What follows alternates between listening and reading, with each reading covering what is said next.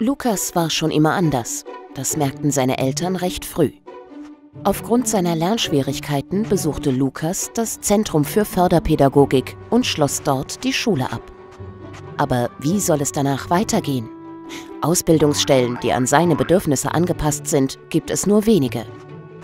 Ihr Berater bei der Dienststelle für selbstbestimmtes Leben informiert Lukas und seine Eltern darüber, dass Lukas eine Ausbildung im Betrieb AIB machen kann. Später könnte der entsprechende Arbeitgeber den Aktiv-Plus-Zuschuss bei der Einstellung erhalten. Dafür ist es jedoch notwendig, dass Lukas die Aktivbescheinigung schon vor der Ausbildung beantragt. Abends überlegt die Familie, welche Ausbildung in Frage käme.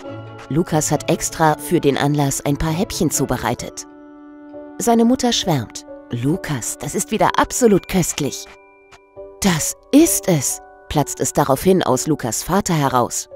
Lukas, du hast doch schon immer gerne gekocht und in der Küche mitgeholfen.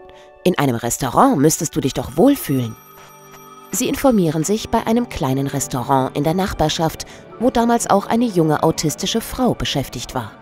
Aktuell ist eine Ausbildungsstelle im Servicebereich frei. Mit seiner Mutter verfasst Lukas eine Bewerbung und darf sich bereits eine Woche später in Begleitung seiner Mutter bei einem Bewerbungsgespräch vorstellen. Schnell ist klar, dass Lukas die Ausbildung machen kann. Nachdem er zunächst im Servicebereich seine Arbeit begonnen hat, sich aber nicht wohlfühlte, wurde für Lukas in der Küche ein anderer Einsatzort gefunden. Und tatsächlich, dort blüht er auf. Er lernt schnell und ist schon bald eine große Hilfe in dem kleinen Restaurant. Umso größer ist die Freude, als Lukas nach seiner Ausbildung sogar übernommen wird. Der Arbeitgeber erhält für die Einstellung einen Aktiv-Plus-Zuschuss, weil Lukas zwei Vermittlungshemmnisse aufweist. Sein Schulabschluss entspricht nicht dem eines klassischen Abiturs. Er wird im Rahmen eines beschäftigungsrelevanten Unterstützungsplans durch die DSL begleitet. Außerdem profitiert der Arbeitgeber von einem vorteilhafteren Zuschuss, da er Lukas zunächst über eine Ausbildung im Betrieb ausgebildet hat.